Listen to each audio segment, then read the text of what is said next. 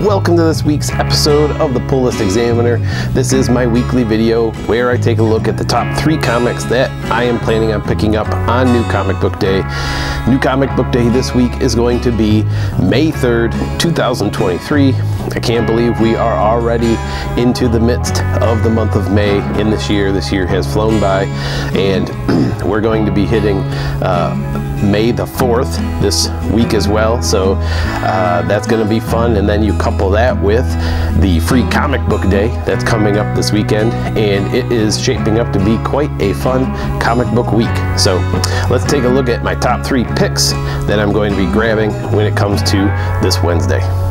Starting off this week at number three, we've got Where Monsters Lie, issue number four. I believe this is the last issue and the finale for this uh, short mini-series.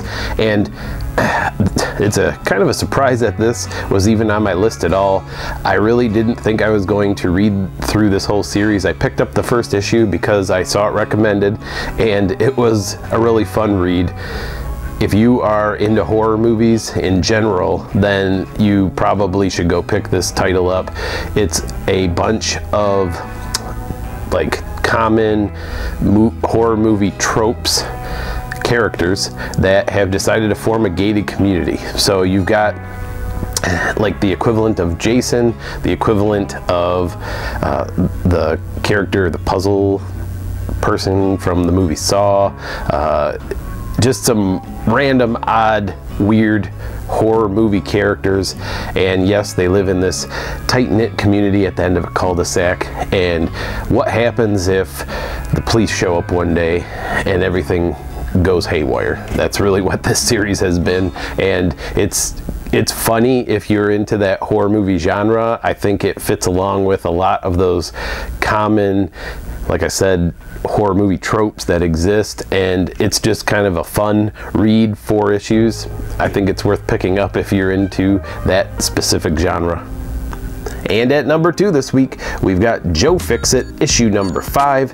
This is the series that Peter David is currently writing. He wrapped up the several Maestro uh, limited series or mini series, and now he's moved on to this Joe Fixit series. And if you haven't heard again, I think I've mentioned this before on my show, uh, Peter David is dealing with some serious health issues right now. So if you go Google for his link to his GoFundMe page, it sounds like he's slowly getting getting better right now, but he's definitely struggling and uh, it's just, I'm glad to see that he is able to have this series that he probably wrote before this all happened, uh, be able to be published and it's been a fun read.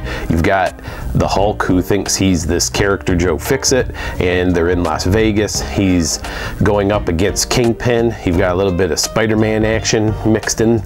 So if you are into Marvel Comics at all and you're an Incredible Hulk fan, this is definitely something I would recommend picking up. At number one this week, we've got Animal Castle issue number one, volume two.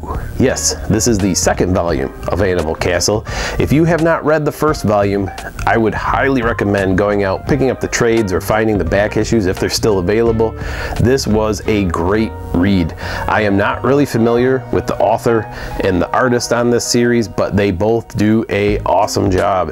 They do some magnificent writing work. The artwork is also uh, probably on par with most Disney animation movies, hand-drawn animation. It is done very well overall. It is a great series that harkens back to the book Animal Farm, which looks at kind of the political, socio-economic makeup of our world, but really portrayed through these animals that live on a farm together and the challenges that they're facing as they go through different struggles uh, with each other. Uh, in the first series, there was a tough winter and they faced hunger and the quote unquote fat cats, which was actually uh, a bull and some other uh, dogs were kind of living it up in the main animal castle while the peasants were all fighting for their lives on the outskirts of the town. And really, it's a deep read but it's also a fun read. It is not for kids, by the way. It looks, when you flip through the pages with the artwork, it's like, oh, this is uh, like a Disney movie. It is not for kids. This is definitely something to sit, ponder, think about. It's a great title, and it's number one on my list this week. Thanks for watching this week's episode of the Pull List Examiner. As always, you can find my full pull list, all the things I'm planning on picking up at the LCS this week in the description of the video below. If you notice this week, there is a lot of Star Wars books. They're giving us a lot of Star Wars books this week. Between Dark Horse and Marvel, I think there's seven or eight titles coming out this week, uh, and I'm picking up a handful of them. Some of them better than others, but go check out my full list. And if you have any recommendations for something I should be reading always feel free to leave a comment.